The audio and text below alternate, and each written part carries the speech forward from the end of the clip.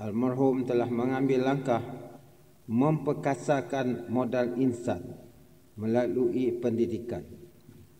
Almarhum percaya akan kepentingan ilmu, pengetahuan dan pendidikan untuk menjadikan Sarawak lebih berdaya saing dan bersedia menyahut cabaran pasaran kerja yang sentiasa berubah.